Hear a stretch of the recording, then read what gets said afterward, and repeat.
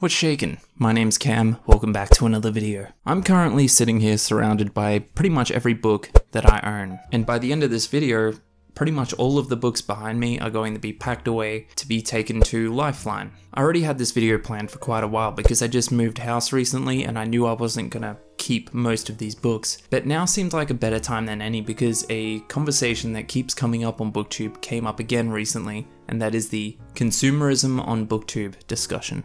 Hold up. I want to give my opinion on it. Not that not that anyone asked.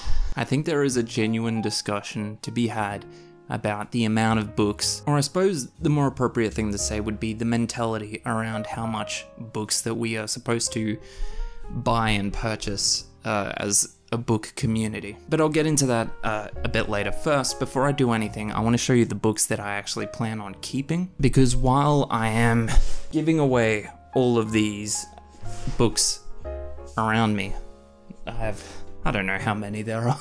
While I'm getting rid of all them, I am going to be keeping some. By the way, look at this. Hang on. Look at how long this microphone cord is. It's actually ridiculous. Hello. Okay, so I'll show you the books I'm gonna keep. Hang on. I gotta do the 10 minute walk back. Make yourself comfy, this is probably going to be a bit of a long video. So the books I'm keeping, I'm keeping for a number of reasons, either sentimental value, I've had them for a really long time and I just don't want to get rid of them, or I, you know, spent a, a lot of money on them and I don't really want to give that away, or it might even be a book that I want my family and friends to read, so I'd like to have it on hand. The Essential Stories of H.P. Lovecraft, Hitchhiker's Guide to the Galaxy, Treasure Island, Charles Dickens' Complete Ghost Stories, Dr. Jekyll and Mr. Hyde, Gulliver's Travels, 20,000 Leagues Under the Sea by Jules Verne. This is one of my favourite books, by the way. Around the World in 80 Days by Jules Verne. Heart Shaped Box by Joe Hill. I'm keeping this because this is the book that made me realise Joe Hill is one of my favourite authors, and at this time is probably my favourite author. The Three Musketeers by Alexandre Dumas. This is probably I might even go so far as to say my favorite classic ever. I I feel like the story of the Musketeers is absolutely timeless. It's a great adventure story. You can reread it like a million times and it still never loses its charm. It's just, I love this story. Race by Toni Morrison, Cry the Beloved Country by Alan Paton. This one is not in good condition. When I picked it up, it was actually already a little bit rough, but the cover is coming off, so I'm gonna have to look into getting it um, re-glued and fixed up a bit. Great Expectations by Charles Dick. You know, actually, nah.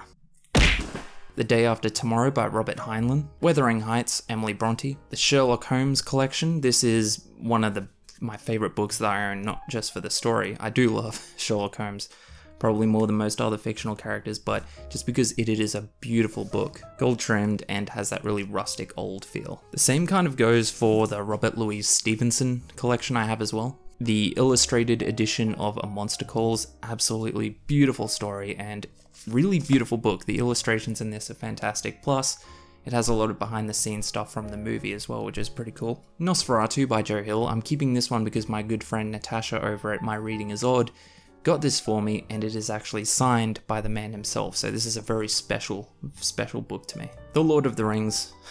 I'm keeping for obvious reasons. My small travel copy of the Sherlock Holmes stories, and of course, The Hobbit, the book that really started it all for me, my passion in writing and fantasy.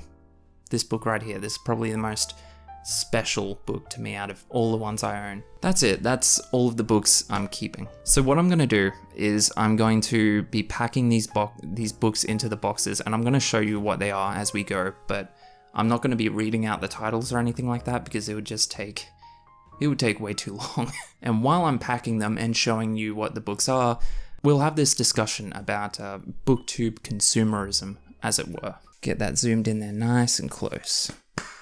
So the first thing I want to point out is that I'm not giving away all these books or donating all these books because of the topic of consumerism on booktube. It's uh, a, this is actually something I planned to do pretty much as soon as we moved in. I just haven't gotten around to it yet. And it felt like good timing to have this conversation while I'm doing this because they kind of go hand in hand. Even though my reason for, you know, getting rid of the books may not explicitly be because of this conversation. The main reason I'm getting rid of them is pretty simply just that I don't really have a whole lot of space for them anymore. I did move into a bigger house, but I still don't really have the space to build my own kind of personal library, which is fine. I don't really mind, to be honest. And also, I'm just not that attached to, you know, holding on to these books that I don't particularly care for anymore. That's just not my personal preference. I, I just don't really see the point anyway. This one is the poems of T.S. Eliot. Poetry just, uh, I don't know, never really did it for me. I'm just, I guess I'm just not a poetry guy. I've tried, uh, just doesn't work for me. Doesn't really do anything for me. Now, I could summarize this whole conversation by saying quite simply you know, let people spend their money however they want. Let them buy as many books as they want. In a nutshell, that's my personal stance on pretty much all of this. However, I don't think we should so quickly dismiss some of the genuine criticisms about, uh, you know, buying, let's say, an excessive amount of books, ex- the word excessive in quotation marks there. Because some points have been brought up that I think are good points when it comes to buying lots and lots of books and we're kind of brushing them off with the argument, you know, it's their money, let them spend it however they want. We should still be having the conversation, is what I'm saying. You might remember quite a while ago, Mary Kondo, uh, she's a Japanese woman with a Netflix show about basically reducing the clutter in your home. You could say she gives you tips and advice on leaning more towards a bit of a minimalistic lifestyle. That's her whole thing. If you really boiled it down, it would basically just be getting rid of things that uh, you don't have an immediate need for or you don't find yourself using on a regular basis. Now, Mary Kondo kind of uh, said the same thing about books uh, when it comes to books, and uh, there was a lot of outrage, and I do understand that. Me personally, I I don't really think. Well, I think a lot of the claims about her intentions when she said that, I don't think that's really what she meant. When she said, uh, you know, get rid of books that don't spark joy, I, I don't think she meant quite literally just the emotion joy. I think she was just saying it in the exact same way she says that about literally everything else uh, that she encourages you to get rid of. At least when I heard it personally, it to me it seemed like she was saying, if you want to have this lifestyle, the whole, you know, the whole point of my show, my Netflix show, if you want to have this more minimalistic lifestyle, you should probably look into getting rid of books that uh, don't spark any kind of emotion in you, that you don't really have any particular feelings for, books that you're completely indifferent about. And to me, that just seems like a fine sentiment. I mean, it's not like she was going out and telling people who didn't want to live this more minimalistic lifestyle to do that. You know, this was advice she was giving to people who were actively following her for advice on having a more minimalistic lifestyle. So it, it makes sense to me that she would have applied that same strategy that she uses on everything else to books as well. It just it just makes sense to me, is what I'm saying. So the biggest point I think that can be made about um, again in quotation marks excessive book buying is the environmental impact. I definitely don't think this is a topic of discussion we should be dismissing. This is a topic that I think we should be discussing, at least in some capacity. Let's say we compare uh, physical books to e readers, assuming that you don't read uh, e books on your phone. Let's say you go out and buy an e reader. The greenhouse gases created by manufacturing just one e reader is actually about a hundred times more than a physical book. And while that sounds pretty insane and might uh, make you feel pretty validated about buying, you know, physical books, it's like, yeah, it's better for the environment if I just buy the paper copies really think about it. If you get an e reader, you have the potential to purchase all your future books on there. We're not just talking about 100 books, we're talking about potentially thousands. So while it might look like at an immediate look anyway that uh, you know books are fine environmentally, in the long run, I think we should be taking serious consideration into uh, you know their impact on climate change. Because statistically speaking, if you bought an e-reader today and you know bought all your future books on there, in a hundred books time you would be leaving a better environmental footprint.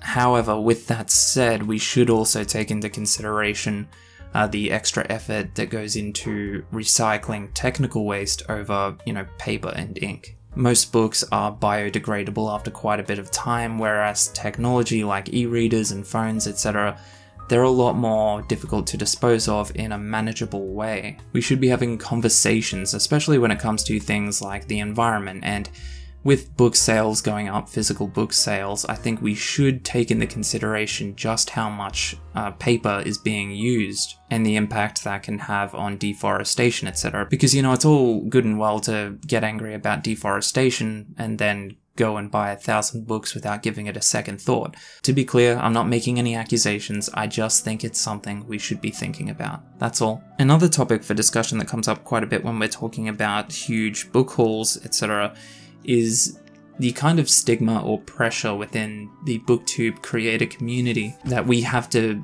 also be buying a ton of books if we want to be seen or taken seriously in the booktube sphere. I had to get myself a chair because my knees were starting to hurt so much, so enjoy this crutch shot. You've probably noticed that it's been a long, long time, I think years in fact, since I had a bookcase in my backdrop in my background of my videos, so it would be pretty easy for me to say that buying tons and tons of books isn't necessary to have a somewhat successful booktube channel, and I think that's true. However, I completely understand why people would feel the opposite. I know that's how I felt when I started off on booktube. I saw these, you know, massive book hauls. I saw booktubers sitting in front of, you know, their own personal library of hundreds and hundreds of books and I thought that's what I need if I want to be, you know, big on here, if I want people to look at me and think, "Wow, he reads a lot." That is a definite definite pressure, especially with newer booktubers that I think we should talk about. I don't think it's anyone's fault because I don't think we should be shaming people for wanting to, you know, sit in front of their book collection or their library and display it. That that would be silly. It makes for a nice backdrop and that's fine. And to be clear, uh, wanting or aspiring to having your own extensive collection of books or your own personal library of books, even if it contains a lot of books that you may not like or have even read or feel that strongly about, I think that's completely fine. Of all the collective hobbies or hobbies that involve collection, I think collecting books is a great one because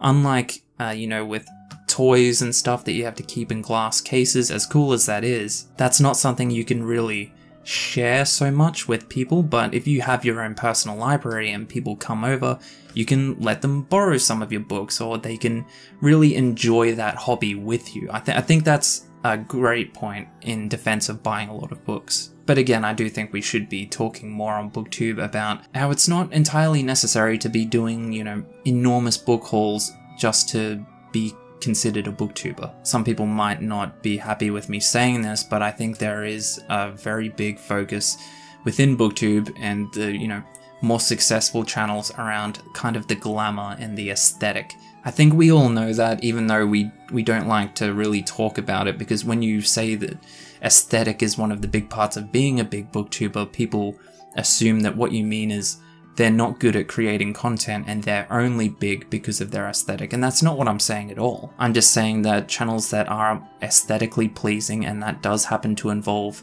owning and purchasing a lot of books, they tend to be more successful. That's just how it is. Like I said, it's no one's fault.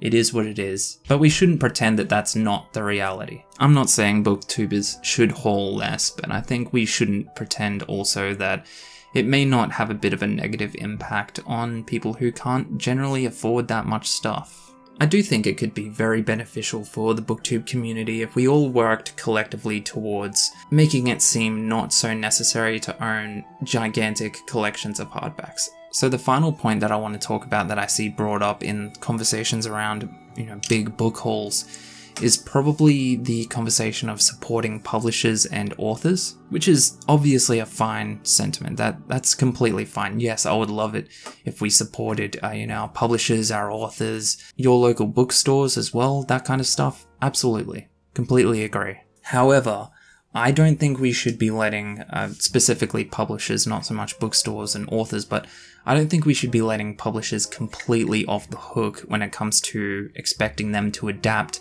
coming into the digital age. And I'm not saying they haven't tried to do that because, like I said, ebook sales are up enormously, which is fantastic. That's great for everyone involved. If we were to also assume that they are making the proper steps towards adapting in an age where we're trying to reduce uh, greenhouse gases, is what I'm saying. This could be done in a lot of different ways, uh, like reducing the price of ebooks in particular, because I just don't think any price over $10 for an ebook is completely reasonable. Specifically talking about, you know, fiction stories, obviously, but the difference between digital books and physical books is that you're not paying for shipping, you're not paying for the physical manufacturing of the book itself, what you're paying for is data. You're paying for zeros and ones to be automatically transferred to you or into your account. That is a virtually uh, costless process. And for that reason, I think digital books should be significantly cheaper than physical books. And I think